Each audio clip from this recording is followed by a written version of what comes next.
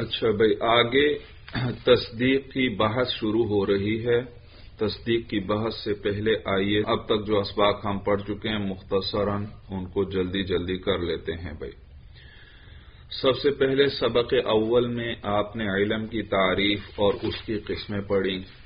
آپ نے پڑھا کہ علم کا معنی ہے جاننا، کسی شے کی صورت کا تمہارے ذہن میں آنا۔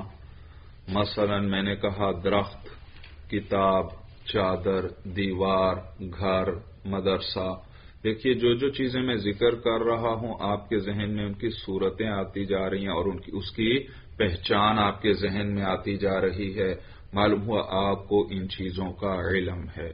اگر علم نہ ہوتا تو اس کی پہچان بھی آپ کے ذہن میں نہ آتی۔ پھر یہ جو علم ہے، یہ دو قسم پر ہے، یا یہ تصور ہوگا یا تصدیق ہوگا۔ تصدیق میں آپ نے پڑھا ہے کہ دو چیزیں ہوتی ہیں، ایک چیز کا دوسری چیز کے لیے ثبوت ہوتا ہے یا ایک چیز کی دوسری چیز سے نفی ہوتی ہے۔ مثلا میں نے کہا زید کھڑا ہے، یا میں نے، یا میں نے کیوں کہ میں نے کہا زید عالم ہے، یا میں نے کہا زید عالم نہیں ہے۔ تو اس میں اس بات بھی ہو سکتا ہے اور نفی بھی ہو سکتی ہے۔ اور دیکھیے دو چیزیں ہیں، زید اور عالم۔ زید ایک الگ ذات کا نام ہے، عالم جاننے والے کو کہتے ہیں، یہ الگ ماں چیز ہے۔ لیکن میں نے جوڑ دیا عالم کو زید کے ساتھ کہ زید کیا ہے؟ عالم ہے، اس کے لیے صفت علم ثابت ہے۔ تو تصدیق میری اس طرح دو چیزیں ہوتی ہیں۔ میں مثلا، میں آج بازار گیا تھا، دیکھو میں یہ متکلم بات کرنے والا ایک ذات ہے اور بازار جانا یہ دوسری چیز ہے، تو میں نے اپنے لیے کیا ثابت کیا؟ بازار جانا ثابت کیا۔ یا میں آپ سے کہتا ہوں کہ آپ بڑے منطقی ہیں، تو دیکھیے آپ، یہ ایک چیز ہوئی آپ کی ذات اور منطقی ہونا دوسری چیز ہوئی جس کو میں نے آپ کی ذات کے ساتھ جوڑ دیا۔ تو تصدیق میں ہمیشہ دو چیزیں ہوتی ہیں، ایک چیز کے لیے دوسری چیز کا ثبوت ہوتا ہے یا ایک چیز سے دوسری چیز کی نفی ہوتی ہے۔ اور پھر یہ بھی یاد رکھیے کہ تصدیق میں اس چیز، اس بات کو مان لینا بھی ضروری ہے۔ مثلا میں نے کہا زید عالم ہے۔ اور اس بات کو میں نے ذہن میں بھی مان لیا تسلیم کر لیا کہ زید کیا ہے؟ عالم. ہے تو اب اس کو تصدیق کہیں گے۔ اور اگر میرے ذہن میں شک ہوا کہ پتہ نہیں وہ زید عالم ہے یا زید عالم نہیں پچاس فیصد خیال ہے اس کے عالم ہونے کا تو پچاس فیصد ذہن دوسری طرف بھی جاتا ہے کہ ہو سکتا ہے عالم نہ ہو۔ تو اس کو پھر تصدیق نہیں کہیں گے۔ تصدیق میں کیا ضروری ہے کہ آپ اس چیز کا اعتقاد بھی کر لیں اس کو مان بھی لیں۔ اور اگر اس میں شک ہے یا وہ وہم ہے تو وہ تصدیق نہیں، بلکہ وہ کیا ہے؟ تصور ہے۔ اور تصور اس کی چار صورتیں میں نے آپ کو بتلائی تھی۔ تصور میں پہلی صورت یہ ہے کہ بات ہی پوری نہ ہو یعنی ایک ہی چیز ہو۔ میں نے کہا صرف زید، یا میں نے صرف کہا درخت، یا میں نے کہا صرف کتاب۔ دیکھو، ایک ایک چیز ہے۔ تو ایک چیز ہو تو یہ بھی تصور ہے۔ جب ایک چیز ہے تو ظاہر سی بات ہے، بات پوری ہی نہیں ہے۔ تو یہ تصور ہے۔ ایک سے زیادہ چیزیں ہوں، لیکن بات پوری نہ ہو، جیسے زید اور عمر، زید اور عمر اور بکر اور خالد۔ دیکھو، تین تین لفظ آ گئے۔ مدرسہ اور گھر۔ دیکھیے، دو دو تین تین لفظ ہیں، لیکن بات پوری نہیں۔ اس کو بھی کیا کہتے ہیں؟ تصور۔ تیسری صورت تصور میں یہ آ گئی کہ بات تو پوری ہو، لیکن اس میں شک یا وہم ہو۔ شک اور وہم کسے کہتے ہیں؟ میں نے بتلایا تھا۔ کہ اگر آپ کو ایک چیز کے جتنا ہونے کا خیال ہے، اتنا ہی نہ ہونے کا بھی خیال ہے ذہن میں، تو اس کو شک کہتے ہیں۔ جیسے آپ، میں نے مثال ذکر کر دی زید عالم ہے۔ تو پچاس فیصد خیال آپ کے ذہن میں ہے کہ وہ عالم ہے۔ اور پچاس فیصد خیال ذہن میں کیا آتا ہے کہ شاید وہ عالم نہیں ہے۔ دونوں طرف ذہن جاتا ہے، آپ کو پکا پتا نہیں ہے۔ تو اس کو شک کہتے ہیں۔ تو اس شک میں جانبین برابر ہوتی ہیں۔ اس کو کیسے بولتے ہیں؟ شک میں جانبین، دونوں جانبیں برابر ہو۔ کیا مانا دونوں جانبیں یعنی ہونے کا جتنا خیال ہوتا ہے، نہ ہونے کا بھی اتنا ہی خیال ہوتا ہے۔ تو اس میں دونوں جانبیں برابر ہوتی ہیں۔ جبکہ ایک ہے وہم اور زن۔ بعض اوقات ایک بات آپ کے ذہن میں آتی ہے، آپ اس کو مان لیتے ہیں کہ زید عالم ہی ہے، لیکن پھر بھی تھوڑا سا کچھ خیال کبھی آ جاتا ہے کہ ہو سکتا ہے عالم نہ ہو۔ باتوں سے تو عالم لگتا ہے، ہو سکتا ہے عالم ویسے باتیں اچھی کرتا ہو، لیکن ہو سکتا ہے عالم نہ ہو۔ تو آپ کا ستر اسی فیصد خیال ہے، وہ عالم ہے۔ لیکن تھوڑا سا کبھی ویسے وہم سا آ جاتا ہے کہ شاید ہو سکتا ہے عالم نہ ہو۔ تو یہ جو ستر اسی فیصد یعنی نصف سے زائد خیال ہے آپ کا، اس کو کہتے ہیں زن تو یہ زوا اور نون ہے زن بھائی۔ تو اس کو زن کہتے ہیں۔ اور زن جو ہے، یاد رکھیے، یہ تصدیق کی قسم ہے۔ جبکہ جو تھوڑا سا جو پندرہ بیس فیصد خیال ہے، اس کو کہتے ہیں وہم۔ اس کو کیا کہتے ہیں؟ وہم. اور وہم تصور کی قسم ہے۔ تو زن کس کی قسم ہے؟ تصدیق کی، جس میں زیادہ خیال ہوتا ہے۔ بات آپ نے تصدیق، مانی تو نہیں ہے ذہن میں، تھوڑا خیال دوسرا پھر بھی آ جاتا ہے۔ لیکن بہرحال مان لینے کے قریب ہی ہے۔ ستر اسی فیصد خیال ہے نا؟ تو مان لینے کے قریب یہ یوں سمجھو گویا مان ہی چکے ہیں تقریباً آپ۔ تو اس لیے یہ بھی کیا ہے؟ تصدیق ہے۔ تو یہ زن تصدیق کی قسم ہے جبکہ وہم کس کی قسم ہے؟ تصور۔ یہ تصور کی تیسری قسم آ گئی یعنی شک اور وہم۔ اور چوتھی قسم ہے تصور کی کہ جملہ انشائیہ ہو۔ بعض جملے آپ آگے چل کر پڑھیں گے وہ آپ کو نحمیر نحمیر پڑھ رہے ہیں آپ؟ ہاں اس میں شاید ذکر آ چکا ہوگا کہ جملہ انشائیہ ہوتا ہے اور جملہ انشائیہ اس کی دس قسمیں ہیں۔ مثلا میں نے کسی کو آواز دی، یا زیدو یا زیدو، اے زید، یہ ندا ہے۔ اس کو کیا کہتے ہیں؟ ندا، پکارنا، کسی کو آواز دینا۔ یہ انشا ہے انشا ہے۔ انشا اس کو کہتے ہیں جس کے کہنے والے کو سچا یا جھوٹا نہ کہا جا سکے۔ میں نے کسی کو آواز دی، اے زید، اب اس میں مجھے کوئی سچا یا جھوٹا نہیں کہہ سکتا۔ کیونکہ میں نے تو بات کی کوئی نہیں، میں نے تو صرف اس کو آواز دی ہے۔ تو انشا کے کہنے والے کو سچا یا جھوٹا نہیں کہا جا سکتا، یہ فرق ہے۔ تو تصور کی کتنی قسمیں ہو گئی چار۔ ایک چیز ہو، دوسری صورت یہ کہ ایک سے زیادہ چیزیں ہوں لیکن بات پوری نہ ہو۔ تیسری صورت بات تو پوری ہے لیکن اس میں شک یا وہم ہے۔ اور چوتھی صورت یہ کہ جملہ انشائیہ۔ جبکہ باقی قسمیں تصدیق میں آ گئیں اور تصدیق میں آپ سمجھ گئے کہ دو چیزیں ہوں گی، ایک چیز کا دوسری چیز کے لیے ثبوت ہوگا یا ایک چیز کی دوسری چیز سے نفی ہوگی اور نیز آپ کو اس بات کا اعتقاد بھی ہوگا، آپ اس کو ذہن میں مان بھی لیتے ہیں، تسلیم بھی کر لیتے ہیں کہ ایسا ہے۔ سورج سمجھ میں آ گئی، یہ ہے تصدیق۔ تو ہمارا جتنا علم ہے نا، یہ سارا انہی دو قسموں میں بند ہے، یا وہ تصور ہوگا یا تصدیق۔ جتنا جو کچھ آپ جانتے ہیں بچپن سے لے کر آج تک، جتنا کچھ آپ نے جانا ہے، آپ سب ہر ہر بات پہ غور کر لیں۔ یا وہ تصور ہوگا یا تصدیق، تیسری کوئی صورت نہیں۔ پھر اگلے دوسرے سبق میں آپ نے پڑھا تھا تصور اور تصدیق کی قسمیں آپ نے پڑھا تصور کی بھی دو قسمیں ہیں، بدیہی اور نظری۔ اور تصدیق کی بھی دو قسمیں ہیں، بدیہی اور نظری۔ تصور بدیہی اس کو کہتے ہیں کہ جو خود بخود فوراً سمجھ میں آ جائے۔ اس میں کوئی تعریف کرنے کی اور دماغ لڑانے کی اور سوچنے کی ضرورت نہ ہو۔ اس کو کیا کہتے ہیں؟ تصور بدیہی اور اگر آپ کو سوچنا پڑے، دماغ لڑانا دماغ لڑانا پڑے، ذہن دوڑانا پڑے تو پھر اس تصور کو بدی ہی نہیں کہیں گے، بلکہ تصور نظری کہیں گے۔ اسی طرح تصدیق بھی دو قسم پر ہے، یا بدیہی ہوگی یا نظری۔ تصدیق بدی ہی وہ ہے جو خود بخود سنتے ہی فوراً آپ کو بات سمجھ میں آ جائے۔ اس میں غور و فکر نہ کرنا پڑے تو وہ تصدیق بدیہی ہے۔ اور اگر آپ کو سوچنا پڑے، دماغ لڑانا پڑے تو پھر یہ تصدیق نظری ہے۔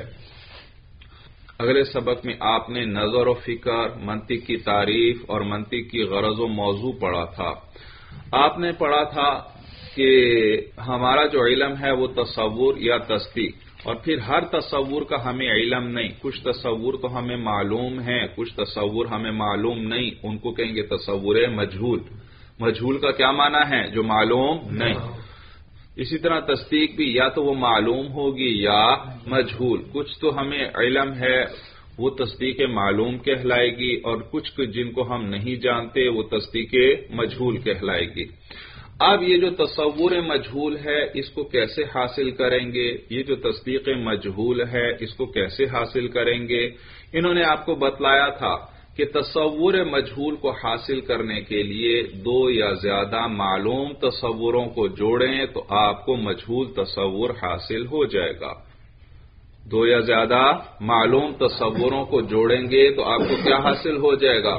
مجہول تصور حاصل ہو جائے گا۔ مثلا دیکھو آپ کو انسان کی حقیقت کا پتہ نہیں، لیکن آپ کو حیوان کا بھی پتہ چل چکا ہے اور آپ کو ناطق کا بھی پتہ چل۔ فرض کریں ابھی انسان کا آپ کو پتہ نہیں ہے۔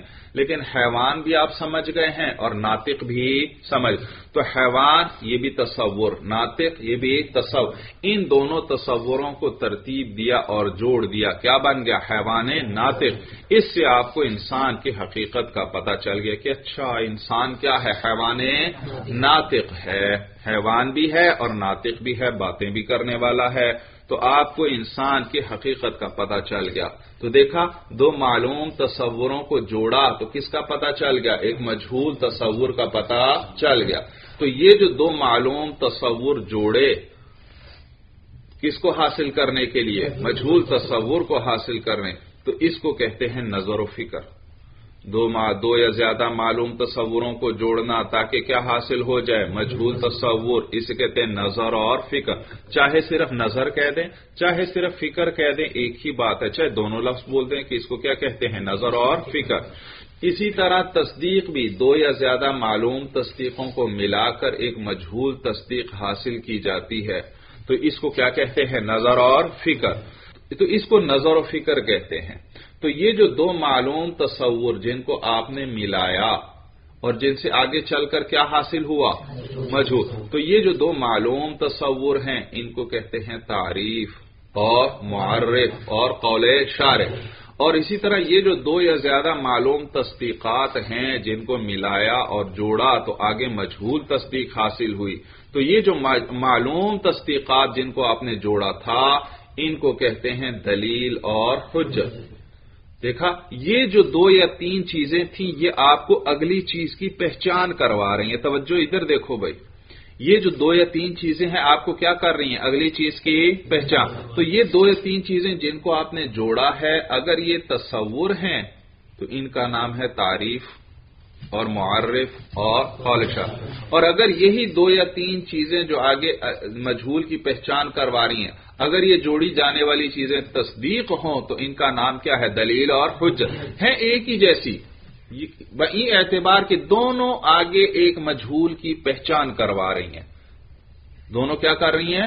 مجھول. کی پہچان کروا رہی ہیں لیکن نام اس اعتبار سے مختلف ہے کہ اگر یہ پہچان کروانے والی چیزیں تصور ہیں تو اس کو کہیں گے تعریف اور معرف یا قول شار اور اگر یہ پہچان کروانے والی چیزیں تصدیق ہیں تو اس کا نام کیا ہے؟ دلیل اور حجت. تو یہ جو آپ دو یا تین چیزوں کو ملاتے ہیں اور ایک مجھول چیز کو حاصل کرتے ہیں اس میں بعض اوقات غلطی ہو جاتی ہے۔ جیسے آپ نے حیوان اور ناطق کو ملایا تو کس کا پتا چلا؟ حیوان ناطق یعنی انسان کا۔ تو آپ نے تو صحیح جوڑا دو چیزوں کو اور انسان کا پتا چل گیا۔ ایک آدمی اور ہے، وہ کوئی اور لفظ جوڑ کر انسان کی حقیقت بیان کرتا ہے۔ تو دیکھو، معلوم ہو اس سے کیا ہو گئی؟ غلطی ہو گئی۔ انسان کی حقیقت تو حیوان ناطق ہے، کچھ اور تو نہیں ہے۔ لیکن اس نے بھی اپنی طرف سے دو یا تین چیزوں کو جوڑ کر کیا کیا انسان کی حقیقت بتانے کی کوشش۔ یہ جو ہم تصور یا تصدیق دو یا زیادہ کو جوڑتے ہیں، اس میں بعض اوقات غلطی بھی ہو سکتی ہے۔ تو اس غلطی سے بچانے کے لیے ایک علم کی ضرورت ہوئی اور وہ علم کون سا ہے؟ علم منطق۔ ہے۔ تو منطق یہ نظر اور فکر میں غلطی سے ہمیں بچاتا ہے۔ نظر اور اور نظر اور فکر میں کیا ہوتا ہے؟ یا تعریف ہوتی ہے یا دلیل ہوتی ہے۔ یہی دو چیزیں ہیں نا۔ جی۔ تعریف معرف اور قول شار یہ ایک اور دوسرا کیا ہوگا؟ دلیل اور حجت۔ تو یوں کو منطق وہ علم ہے جو تعریف میں اور دلیل میں ہمیں غلطی سے بچاتا ہے۔ تعریف بنانے میں اور دلیل۔ بنانے میں ہم غلطی سے ہماری یا یوں کہہ لو توجہ ہے۔ منطق وہ علم ہے جو نظر اور فکر میں ہماری غلطی سے اور نظر و فکر کسے کہتے تھے؟ نظر و فکر میں کیا ہوتا تھا؟ یا تعریف ہوتی تھی یا دلیل ہوتی تھی۔ دو ہی صورتیں تھیں نا۔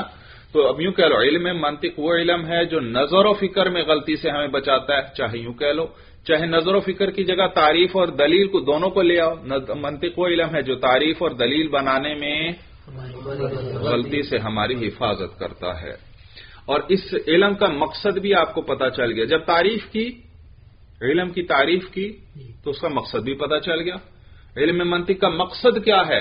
ہم کیوں اس کو سیکھتے ہیں؟ تاکہ یہ نظر و فکر میں غلطی سے ہماری حفاظت کرے۔ دیکھو، تعریف سے مقصد بھی سمجھ میں آ گیا۔ اور اس علم کا موضوع کیا ہے؟ موضوع یاد رکھیے، وہ چیز ہوتی ہے جس کے بارے میں کسی علم میں بحث کی جائے۔ مثلا تفسیر جو ہے علم تفسیر، اس میں ساری بحث قرآن کے بارے میں ہوتی ہے۔ قرآن کے الفاظ کا یہ معنی ہے، ان کا یہ معنی ہے۔ سورج سمجھ میں آ رہی ہے؟ اس طرح علم حدیث جو ہے، اس میں ساری حدیث کے بارے میں بحثیں ہوتی ہیں کہ حدیث کی اتنی قسمیں ہیں اور اس کی یہ تعریف ہے اور یہ تعریف ہے وغیرہ۔ تو علم تفسیر کا موضوع قرآن ہوا۔ علم حدیث کا موضوع حدیث ہوئی۔ اسی طرح ڈاکٹر ساری ساری بحث جو کرتے ہیں اپنی کتابوں میں، وہ انسان کے بارے میں کرتے ہیں کہ انسان کو یہ دوائی دی جائے تو یہ فلاں بیماری سے فائدہ ہوگا۔ فلاں چیز کمی آ جائے تو انسان کو یہ تکلیف لاحق ہو جاتی ہے، اس کا علاج پھر ایسے کیا جائے گا۔ تو ڈاکٹروں کی کتابوں میں ساری باتیں کس کے بارے میں ہوتی ہیں؟ انسان کے بارے میں۔ تو معلوم ہوا ڈاکٹری کا موضوع انسان ہے یعنی انسان کا بدن ہے۔ انسان کا بدن ہے بھائی۔ تو جس چیز کے بارے میں کسی علم میں بحث کی جائے، اس کو اس علم کا موضوع کہتے ہیں۔ تو منطق کا موضوع کیا ہے؟ یاد رکھیے، منطق کا موضوع وہ وہ معلوم تصورات ہیں اور وہ معلوم تصدیقات ہیں۔ لیکن ہر معلوم تصور نہیں، ہر مجھول، ہر معلوم تصدیق نہیں، بلکہ وہ والے معلوم تصور جو ہمیں کہاں تک پہنچاتے ہیں؟ مجھول تک۔ اسی طرح وہ والے معلوم تصدیقات جو ہمیں کہاں تک پہنچائیں؟ مجھول۔ تو لہذا علم منطق کا موضوع وہ معلوم تصورات ہیں اور وہ معلوم تصدیقات ہیں۔ اس حیثیت سے کہ وہ ہمیں کہاں پہنچائیں؟ مجھول۔ تصور اور مجھول تصدیقات تک۔ اس کے بعد اگلے سبق میں چوتھے سبق میں ہم نے دلالت وضع اور دلالت کی قسمیں پڑھی تھیں بھائی بھائی دلالت اس کو کہتے ہیں پھر اچھی طرح سمجھ لیں بھائی ہم آگے تصدیق کی بحث شروع کرنے جا رہے ہیں، یہ ساری چیزیں آپ کے ذہن میں ہونی چاہیے۔ دلالت کا مطلب ہوتا ہے پتہ بتلانا، رہنمائی کرنا۔ جب بھی ایک چیز سے دوسری چیز کا آپ کو پتا چلے تو اس کو دلالت کہتے ہیں۔ آپ کمرے میں بیٹھے تھے، آپ کو دھوپ نظر آئی۔ تو اس دھوپ سے آپ کو کیا پتا چلا کہ سورج نکل آیا ہے؟ تو دیکھو، دھوپ نے آپ کو سورج کا پتا بتلایا۔ آپ کمرے کے اندر بیٹھے ہیں، کسی نے دروازہ کھٹکھٹایا، آپ کو کیا پتا چلا؟ معلوم ہوا کوئی باہر آیا ہے۔ تو اس کھٹکھٹانے نے آپ کو باہر کسی کے آنے کا پتا بتلایا۔ تو اس کو کہتے ہیں دلالت۔ ایک چیز سے کس کا پتا چل رہا ہے؟ دوسری چیز کا۔ یا اسی طرح آپ کمرے میں بیٹھے ہیں باہر سے کسی نے آواز دی، آپ کو پتا چل گیا کہ باہر زید آیا ہے، آپ نے آواز پہچان لی۔ تو دیکھا، کس چیز نے بتلایا آپ کو؟ آواز نے۔ اور کس کا بتلایا؟ زید کا۔ تو اس کو کہتے ہیں دلالت کی۔ ایک چیز سے دوسری چیز کا آپ کو پتا چل جائے۔ اور اس میں یاد رکھیے، جو پہلی چیز ہے، جو پتا بتانے والی ہے، اس کو کہتے ہیں دال لون دال الف اور لام مشدد ہے۔ دال۔ کیا کہتے ہیں؟ دال۔ اور دوسری چیز جس کا پتہ بتلایا، اس کو کہتے ہیں مدلول۔ دال اور مدلول۔ دیکھیے، آپ نے دھوپ دیکھی، آپ کو کس کا پتا چلا؟ سورج کا۔ تو دال کون؟ دھوپ۔ اور سورج کیا؟ مدلول۔ میں نے کہا لفظ زید۔ جیسے میں نے زید کہا، آپ کا ایک دوست ہے، ساتھی ہے، اس کا نام زید ہے۔ فوراً اس کی شکل و صورت آپ کے ذہن میں آ گئی۔ دیکھا؟ تو دیکھو میں نے تو زبان سے لفظ زید کہا تو دیکھو اس لفظ نے اس ذات زید پر کیا کر دی؟ دلالت. کر دی۔ تو لفظ زید کیا ہوا؟ دال۔ اور وہ ذات زید کیا ہوئی؟ مدلول۔ دروازہ کھٹکا تو آپ کو پتا چل گیا باہر کوئی آیا ہے۔ تو دال کیا؟ دروازے کا کھٹکھٹانا۔ اور مدلول کیا؟ باہر کسی کا آنا۔ تو دلالت کسے کہتے ہیں کہ جب بھی ایک چیز سے آپ کو دوسری چیز کا پتہ لگ جائے، اس کو کیا کہتے ہیں؟ دلالت۔ جیسے آپ نے دور کہیں دھواں اٹھتے ہوئے دیکھا، آپ کو فوراً پتہ چل گیا۔ کیا پتہ چلا؟ کہ نیچے آگ جل رہی ہے یا نیچے آگ لگی ہوئی ہے۔ تو دیکھا، دھوئیں نے دلالت کی کس پر؟ آگ پر۔ تو دال کون ہوا؟ دھواں۔ اور آگ کیا ہوئی؟ مدلول بھائی۔ اب اس کے بعد انہوں نے وضع کو ذکر کیا بھائی، وضع۔ وضع اس کو، وضع کا معنی ہے مقرر کرنا۔ وضع کا کیا معنی ہے؟ مقرر کرنا۔ مثلا دیکھو، میں آپ کے سامنے اردو زبان بول رہا ہوں، جو جو کچھ بولتا جا رہا ہوں، آپ سمجھتے جا رہے ہیں۔ کیونکہ ہم ہم لوگ اردو والوں نے ان معانی کے لیے یہ یہ الفاظ مقرر کیے ہیں۔ مثلا مثلا یہ جو میرے سامنے ہے، اس کا نام ہم نے کیا رکھا ہے؟ کتاب، جس سے ہم لکھتے ہیں، اس کو ہم قلم کہتے ہیں۔ اور تو مختلف چیزوں کے ساری، دیکھو، یہ زبان میں جتنی چیزیں ہیں، جتنے لفظ ہیں، یہ سارے کسی نہ کسی معنی کے لیے مقرر ہیں۔ مثلا میں لفظ جو بھی بولتا جاؤں گا، دیکھیے آپ اس کا معنی سمجھتے جائیں گے۔ دیوار، درخت، پانی، صبح، شام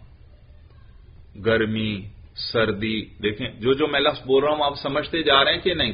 کیونکہ یہ جو معانی ہیں ان کے ان کے لیے ہم نے یہ یہ نام مقرر کیے ہوئے ہیں۔ اب اردو والے، جس کے اردو بولنے والے، جس شخص کے سامنے بھی یہ لفظ آپ ذکر کریں گے، وہ ان الفاظ کے معنی سمجھ لے گا، کیونکہ وہ جانتا ہے کہ ہم نے اس لفظ کو اس معنی کے لیے مقرر کیا ہوا ہے۔ لیکن یہی لفظ اگر آپ عربی کے سامنے، کسی عرب آدمی کے سامنے بولیں یا کسی انگریز کے سامنے بولیں، اس کو اب بات سمجھ میں نہیں آئے گی۔ کیونکہ انہوں نے انہی چیزوں کے یہ نام نہیں رکھے، انہوں نے اپنی زبان میں اور نام رکھے ہوئے ہیں۔ تو انہوں نے اس چیزوں کے لیے وہ نام مقرر کیے ہیں اور ہم نے یہ والے نام مقرر کیے ہوئے ہیں۔ تو یہ تو تھا لفظ۔ ایک لفظ کے لفظوں کو ہم نے کس کے لیے مقرر کیا ہے؟ معنی کے لیے۔ اور بعض اوقات لفظ نہیں ہوتا، اور چیزیں ہوتی ہیں جن کو ہم نے مقرر کیا ہوتا ہے۔ اچھا تو ہم نے یہ مقرر کیا ہوئے تو دیکھ، ادھر ہم لفظ بولتے ہیں، وہ معنی آپ کے ذہن میں آ جاتا ہے۔ تو لفظ ہوا دال، اور اس کا معنی کیا ہوا؟ مدلول، بھائی۔ اسی طرح بعض اوقات دال جو ہے، ہم نے مقرر کیا ہوتا ہے، لیکن وہ لفظ نہیں ہوتا۔ مثلا دیکھیے، لفظ تو کسے کہتے ہیں؟ جس پر ہم تلفظ کرتے ہیں، جو ہم زبان سے بولتے ہیں، وہ ہے لفظ۔ جبکہ اسی طرح ٹریفک کے اشارے دیکھ لیجیے کہ سبز اشارہ ہو تو گاڑیاں چل پڑتی ہیں۔ اور سرخ اشارہ ہو تو گاڑیاں رک جاتی ہیں۔ سبز اشارے کو گاڑی کے چلنے کے لیے مقرر کیا ہے اور سرخ اشارے کو گاڑی کے روکنے کے لیے مقرر کیا ہے۔ تو دال کون ہوا؟ سرخ اشارہ، مثلا سبز اشارہ، یہ کیا ہوا؟ دال۔ اور مدلول کیا ہوا؟ گاڑی کا چلنا۔ آپ گاڑی آپ نے اشارے پر گاڑی روکی سبز لائٹ جیسے ہی جلی آپ نے گاڑی چلانا شروع کر دی۔ حالانکہ یہاں کوئی دال کوئی لفظ نہیں ہے۔ کوئی لفظ ہے؟ کس نے کچھ زبان سے کہا؟ نہیں۔ ہاں وہ اشارہ ہی مقرر کیا تھا ہم نے گاڑی چلانے کے لیے اور اس سے فوراً آپ کو پتا چل گیا کہ اب گاڑی چلانی ہے۔ تو دال لفظ ہوا یا غیر لفظ ہوا؟ غیر لفظ۔ سبز اشارے پر سبز اشارہ جلے تو گاڑی چلانی ہے۔ یہ خود بخود ہے یا ہم نے مقرر کیا ہے؟ ہم نے مقرر کیا ہے۔ تو یہ دیکھ معلوم ہوا مقرر کرنا ایک چیز کو دوسری چیز کے لیے۔ کبھی یہ لفظ میں دال لفظ ہوگا اور کبھی دال غیر۔ یا اسی طرح اور دیکھ لیجیے۔ مثلا، رمضان میں شام کے وقت سائرن بچتا ہے، آپ افطاری کر لیتے ہیں۔ اب کسی نے زبان سے کچھ نہیں کہا، لیکن وہ سائرن سنتے ہی آپ کیا کر لیتے ہیں؟ افطار۔ کیوں؟ کیونکہ یہ سائرن اس کو ہم نے مقرر کیا ہے۔ کس کے لیے؟ افطاری کے لیے۔ تو سائرن ہوا دال۔ اور افطاری کا وقت ہونا یہ کیا ہوا؟ مدلول ہوا۔ تو دال جو ہے کبھی لفظ ہوگا اور کبھی غیر لفظ، جبکہ اس میں وضع ہو یعنی ہم نے مقرر کیا ہو۔ اب آگے تقسیم سمجھ لیجیے بھائی، تقسیم بھائی۔ آپ نے پڑھا کہ ایک چیز سے دوسری چیز کا پتہ چلے، اس کو کہتے ہیں دلالت۔ اور اس میں جو پہلی چیز ہے، اس کو کہتے ہیں دال اور دوسری کو کہتے ہیں مدلول۔ تو یہاں یاد رکھیے، دال کے اعتبار سے دلالت دو قسم پر ہے۔ یا وہ دلالت لفظیہ ہوگی یا دلالت غیر۔ دال اگر لفظ ہے، آپ نے زبان سے ادا کیا ہے، تو پھر یہ دلالت لفظیہ۔ اور اگر دال لفظ نہیں تو یہ دلالت غیر لفظی مثلا میں نے کہا زید، کس کی صورت ذہن میں آئی؟ زید کی۔ اور تو لفظ زید کیا ہوا؟ دال۔ اور ذات زید کیا ہوئی؟ مدلو تو دال لفظ ہے یا غیر لفظ؟ لفظ ہے۔ اور آپ نے دور سے دھواں دیکھا، آپ کو کس کا پتا چلا؟ آگ۔ تو دھواں کیا ہوا؟ دال۔ اور آگ کیا ہوئی؟ مدلول۔ اب بتائیے، دال لفظ ہے یا غیر لفظ؟ غیر لفظ۔ تو دیکھا، دال کبھی لفظ ہوتا ہے اور کبھی غیر لفظ۔ تو دال کے اعتبار سے دو قسمیں بنا دی کہ دلالت یا لفظیہ ہوگی یا غیر لفظیہ وہ جس میں دال کیا ہو، لفظ۔ غیر لفظیہ وہ جس میں دال لفظ نہ ہو۔ پھر یہ دلالت لفظیہ، یہ بھی تین قسم پر۔ اور دلالت غیر لفظیہ یہ بھی تین قسم پر۔ اگر یہ جو دال ہے یہ ہم نے مقرر کیا ہے۔ اگر دال ہم نے مقرر کیا ہے تو پھر یہ دلالت وضعیہ کہلائے گی۔ اس میں وضع کا دخل ہے نا؟ وضع کا کیا معنی ہوتا ہے؟ مقرر کرنا۔ تو اس میں مقرر کرنے کا دخل ہے۔ مثلا میں نے کہا زید آپ کے ذہن میں فوراً کس کی صورت آئی؟ اب بتائیے، یہ اس کا نام خود بخود زید ہے یا اس کے، یا ہم نے مقرر کیا یعنی اس کے والدین نے مقرر کیا ہے؟ والدے کا مقرر کیا گیا ہے۔ تو یہ دلالت کون سی ہوئی؟ لفظیہ وضعیہ۔ اور اگر شام کو سائرن بجا اور آپ نے روزہ افطار کر لیا، اب اس میں دال لفظ ہے یا غیر لفظ؟ غیر لفظ۔ اور خود بخود ہے یا ہم نے مقرر کیا ہے؟ ہم نے مقرر کیا ہے تو یہ کون سی ہوئی؟ دلالت غیر لفظیہ وضعیہ اور اگر دال جو ہے، اس کو وہ طبیعت کی وجہ سے پیدا ہو، دال کس کی وجہ سے پیدا ہو؟ طبیعت کی وجہ سے پیدا ہو، تو اس کو دلالت طبعیہ کہتے ہیں۔ دلالت طبعیہ کہتے ہیں۔ مثلا گھوڑے کو بھوک لگی اور وہ تیزی سے اپنی جگہ پر چکر لگانے لگ پڑا۔ باندھا ہوا ہے، آپ نے ادھر ادھر دائیں بائیں حرکت وہ بار بار کر رہا ہے، آرام سے نہیں بیٹھ رہا۔ آپ سمجھ گئے کہ اس کو کیا لگی ہے؟ بھوک۔ دیکھا، تو اس کا حرکت کرنا، یہ ہوا دال۔ اور کس چیز کا پتا چلا؟ بھوک کا پتا چلا۔ اور مجھے بتائیے، یہ ادھر ادھر حرکت وہ خود کر رہا ہے یا اس کی طبیعت تقاضا کر رہی ہے؟ طبیعت تقاضا کر رہی ہے۔ تو دیکھا، اس میں یہ جو دال ہے یعنی ادھر ادھر حرکت کرنا، یہ کس وجہ سے پیدا ہوا؟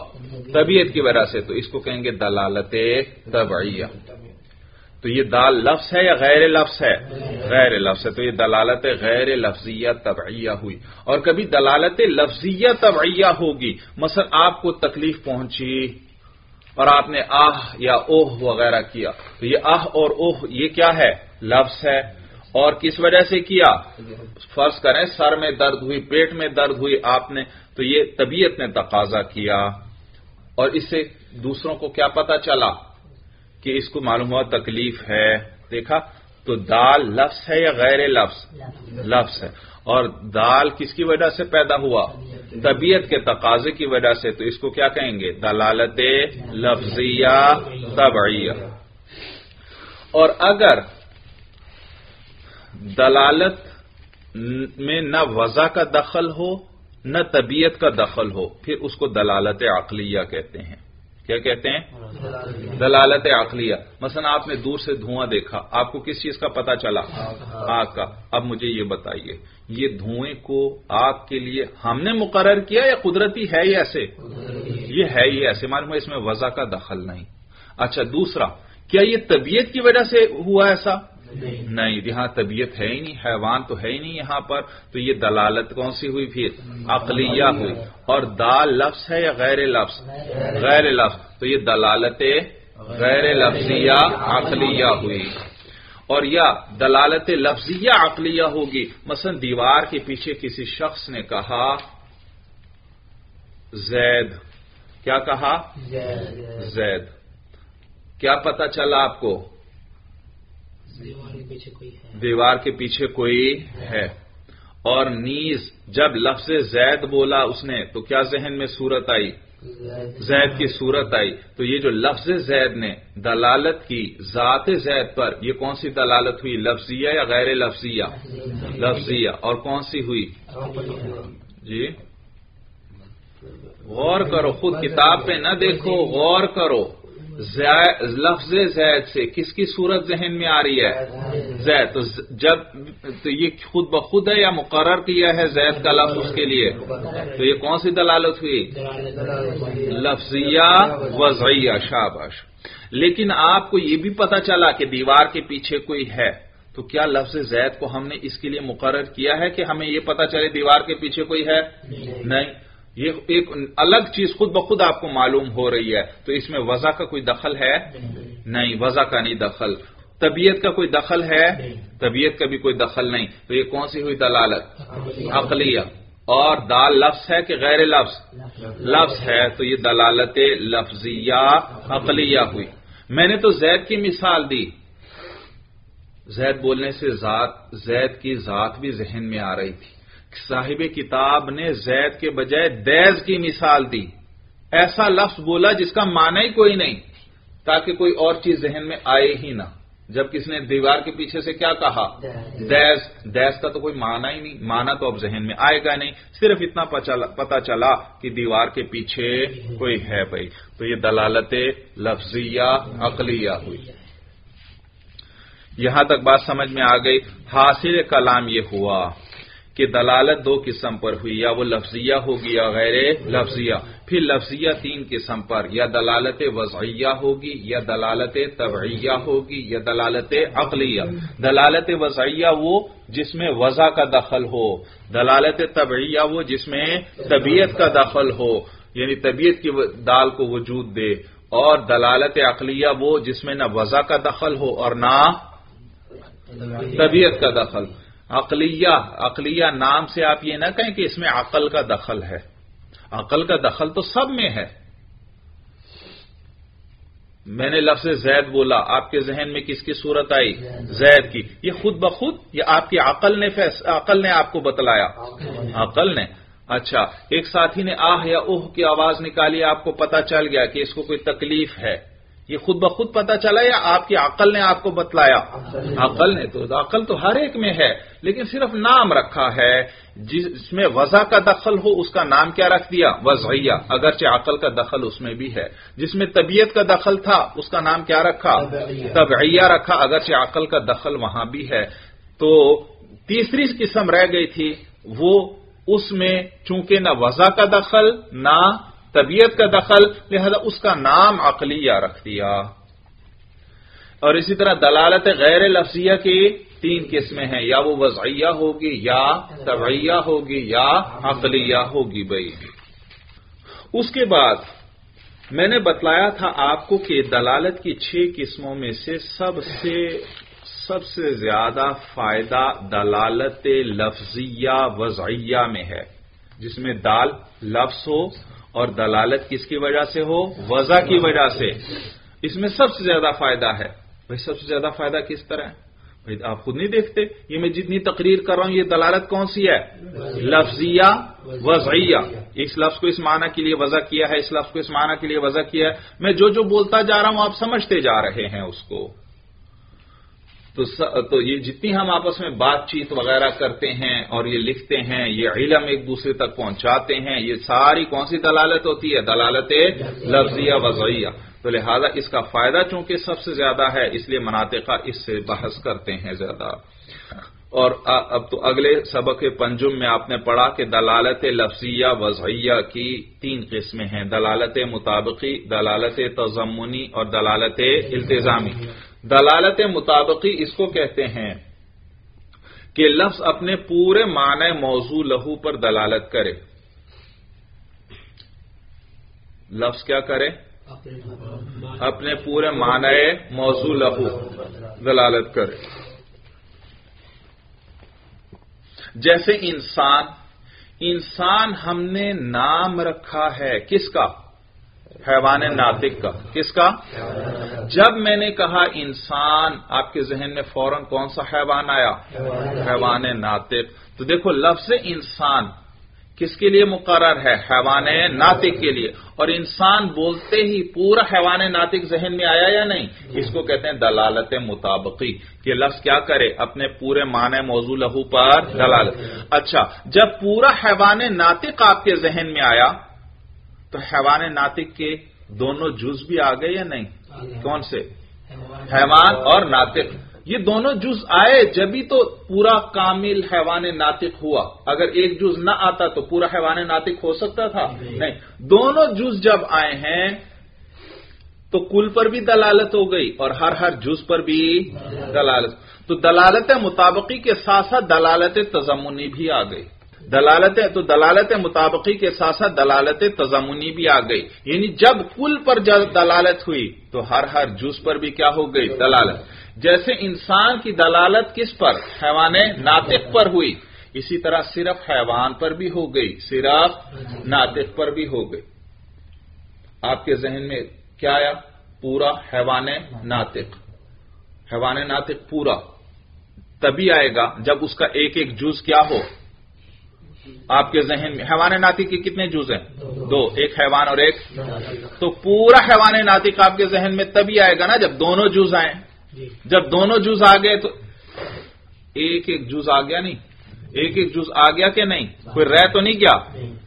تو ہر ہر جز آ گیا تو ہر ہر جز پر بھی دلالت ہو گئی. یہ کیا ہوئی؟ دلالت تزمنی ہوئی. اور انسان جب ذہن میں آیا تو ساتھ ہی یہ بھی ذہن میں آ گیا کہ انسان تو ذاہق ہے یعنی اس میں اللہ نے ہنسنے کی صلاحیت رکھی ہے۔ ساتھ ہی یہ بات بھی آ گئی کہ انسان تو کاتب بھی ہے، اللہ نے اس کو کتابت یعنی لکھنے، پڑھنے کی بھی صلاحیت نصیب فرمائی ہے۔ سورج سمجھ میں آ گئی کیونکہ جب چیز کوئی ذہن میں آتی ہے تو اس کے جو لازم ہوتے ہیں وہ بھی ذہن میں آ جاتے ہیں۔ جیسے مثلا میں کہوں سورج۔ میں نے جیسے ہی سورج کہا، آپ کے ذہن میں اس کی روشنی بھی ذہن میں آ گئی اور اس کے دھوپ بھی ذہن میں آ گئی۔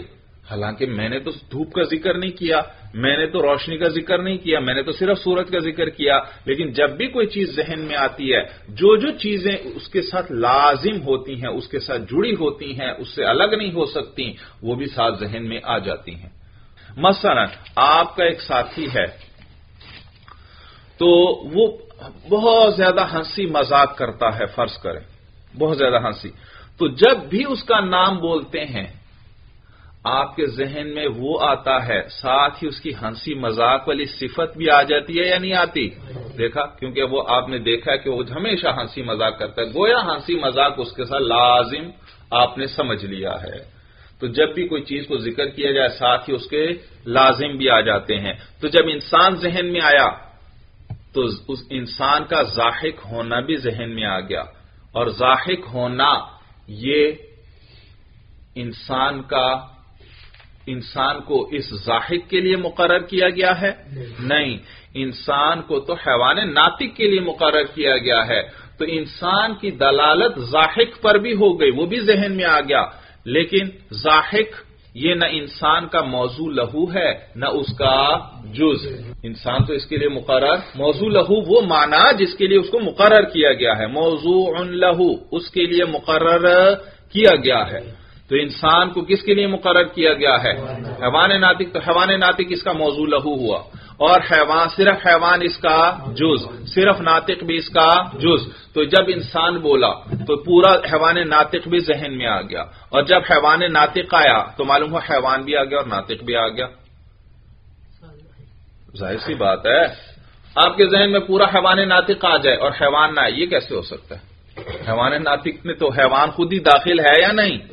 تو جب کل آئے گا ذہن میں، تو جز خود بخود ذہن میں ساتھ آئے گا جز کے بغیر ہو ہی نہیں سکتا۔ اور جیسے ہی جب کل کے ساتھ جز آ گیا، تو ساتھ اگر کوئی لازم ہوتا ہے، وہ بھی ذہن میں آ جاتا ہے۔ تو ایک ہی لفظ میں تینوں دلالتیں ہو رہی ہیں۔ مطابقی بھی ہو رہی ہے تزمنی بھی ہو رہی ہے اور التظامی یہ ہمیشہ یاد رکھنا۔ جب بھی ہم کوئی لفظ بولتے ہیں ہمیشہ اولن آتی ہے دلالت مطابقی اور اس کے ساتھ ساتھ کیا آ جاتی ہے؟ تزمنی بھی اور التظام کیونکہ جب کل ذہن میں آئے گا تو کل کہتے کس کو ہیں؟ کل کسے کہتے ہیں؟ جس میں سارے جز ہوں تو سارے جز بھی آ گئے یا نہیں؟ تو سارے جزو بھی آ گئے۔ اور ساتھ اس کے لازم بھی آ گئے یا نہیں آ گئے؟ تو دلالت التظامی بھی ساتھ آ گئی۔ تو دلالت مطابقی بھی آئی تزمنی بھی آئی اور انتظام۔ میں نے صرف لفظ انسان بولا، لیکن دلالتیں تینوں ہو گئیں۔ کل پر بھی ہو گئی دلالت اور جز پر بھی ہو گئی اور لازم پر بھی ہو گئی۔ تو طلباء عموماً یہ سمجھتے ہیں کہ ایک وقت میں ایک دلالت ہوتی ہے۔ مطابقی ہو رہی ہے تو تزمنی نہیں ہے۔ یہ تزمنی ہو رہی ہے تو مطابقی نہیں ہے۔ نہیں نہیں۔ یاد رکھو، دلالت تو ہوتی ہی مطابقی ہے ہمیشہ۔ کیا ہوتی ہے؟ مطابقی کے بعد دیکھو تزمنی اور التزامی بھی ہے یا نہیں۔ مطابقی کے ساتھ ہی تزمنی بھی ہو رہی ہوگی اور مطابقی کے ساتھ ہی التزامی بھی صرف دلالت تزمنی ہو اور مطابقی نہ ہو، ایسا ہو ہی نہیں سکتا۔ صرف دلالت التظامی ہو اور مطابقی نہ ہو، ایسا ہو ہی نہیں سکتا۔ یاد رکھو، ہم جب بھی لفظ کو مقرر کرتے ہیں، کسی معنی کے لیے مقرر کرتے ہیں نا، تو جب بھی وہ لفظ بولو گے، وہ پورا معنی ذہن میں آئے گا یا نہیں؟ وہ جب وہ پورا ذہن میں آیا تو مطابقی تو ہو گئی۔ کبھی ایسا ہو سکتا ہے آپ نے ایک لفظ بولا اور آدھا معنی ذہن میں آیا، آدھا نہیں آیا۔ نہیں، ایسا ہو ہی نہیں سکتا۔ ہمیشہ پورا معنی ذہن میں آئے گا۔ تو ہمیشہ مطابقی تو ہمیشہ ہوگی۔ ایسا کبھی نہیں ہو سکتا مطابقی نہ ہو۔ جب بھی لفظ بولیں گے کون سی دلالت ہوگی؟ مطابقی۔ ہاں انسان کے تو دو جز ہیں حیوان اور ناطق۔ لیکن جس چیز اگر ایک چیز کے جز ہی نہیں ہے جیسے اللہ کی ذات ہے اللہ کی ذات۔ اللہ کی ذات بسیط ہے، مرکب نہیں، جز نہیں۔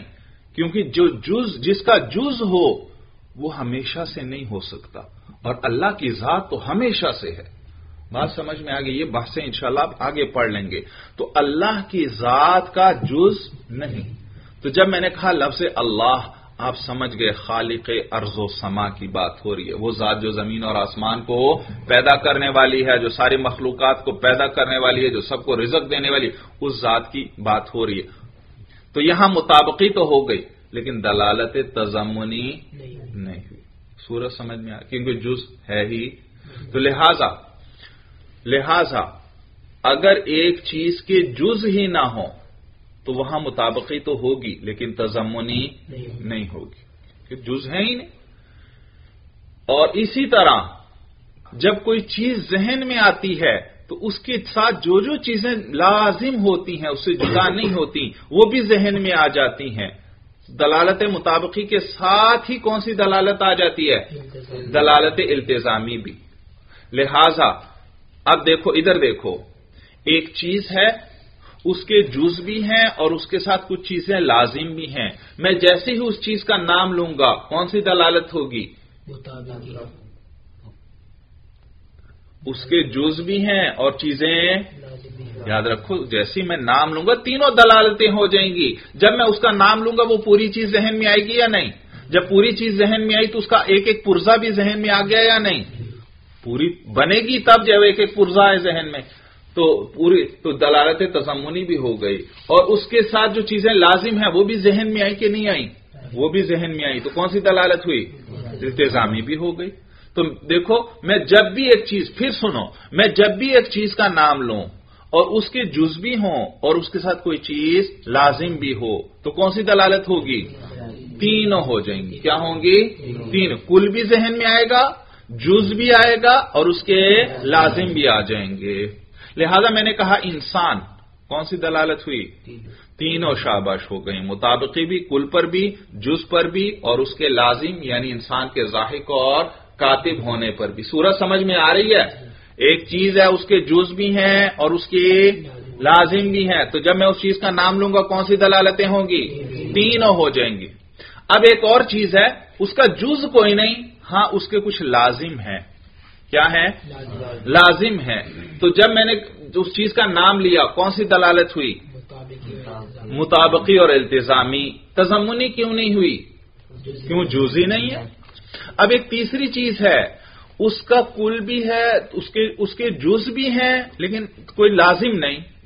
تو جب میں اس کا نام لوں گا، کون سی دلالت ہوگی؟ مطابقی اور تزمنی ہوگی، التزامی نہیں، کیونکہ لازم ہے ہی کوئی نہیں۔ اب ایک چیز ایسی ہے، نہ اس کا کوئی جز ہے، نہ اس کا کوئی لازم ہے۔ میں اس کا نام لیتا ہوں۔ کون سی دلالت ہوئی؟ صرف مطابقی ہوئی، کیونکہ لازم ہے ہی نہیں کہ دلالت التظامی ہوتی، اور جز بھی کوئی نہیں کہ دلالت تزمنی ہوتی۔ اور ہر ایک میں آپ دیکھ رہے ہیں، مطابقی ہے یا نہیں؟ مطابقی ہر ایک میں ہے، لیکن کہیں پر التزامی نہیں ہے، کہیں تزمنی نہیں ہے، اور کہیں دونوں نہیں ہے۔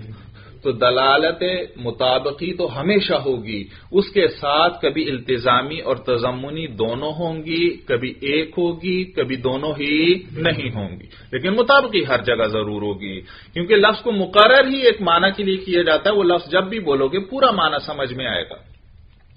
اب یاد رکھو، ایک لفظ میں نے بولا، اس کے جز بھی ہے اور اس کا لازم بھی۔